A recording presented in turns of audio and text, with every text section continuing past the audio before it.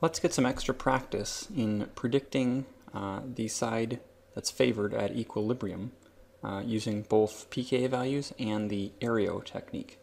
Uh, certainly it's easy to look up uh, a table of pKa values, whether it's in our textbook, table 3.1, uh, or in another table maybe available on the internet or in another uh, textbook or academic work. So if we go to table 3.1 and we're asked to take a look at this first equation here and decide which side is favored at equilibrium.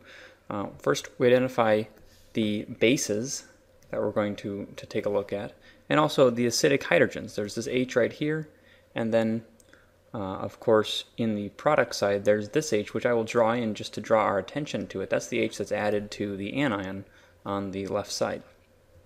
So if we're going to look up pKa units, uh, we could look up the exact pK value for this alcohol. Uh, it is not in table 3.1, but table 3.1 gives us uh, a good enough estimate. That's approximately 16 if we look at table 3.1 and we look at ethanol. Here for pentane, uh, we can look at table 3.1 right at the bottom, and we have 50. Uh, and so 50 tells us we have a very, very extremely weak acid, uh, which is not prone to giving up hydrogens. It's going to retain the hydrogens, and thus it means that this side is favored at equilibrium. So we should circle uh, the right side. So maybe we can, uh, can write that or circle. I'm not going to circle it right now because I want to talk a little bit more about it.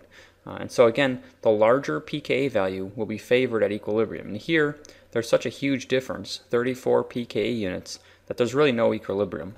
We mix these two compounds together on the right side or left side, boom, they go to the, the products, there is no going back. There's such a large difference in pKa. Okay, well let's say we uh, we had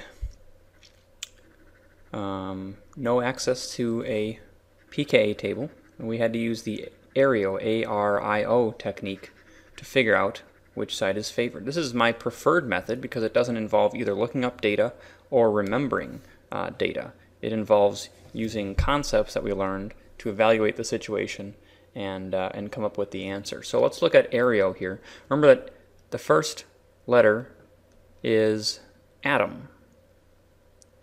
And so we see that there's a carbon right here that's holding the anion.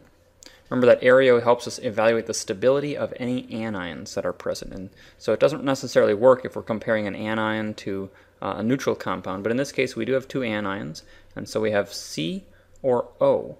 And which of those is more stable? The more electronegative element is more stable, so this side is favored at equilibrium. And so again, we have uh, the same conclusion, except that ARIO doesn't necessarily tell us how favored it is. Remember that there was 34 pKa units difference, so it's extremely favored at equilibrium. ARIO just tells us this side is favored, so let's circle the products, and, and that is favored.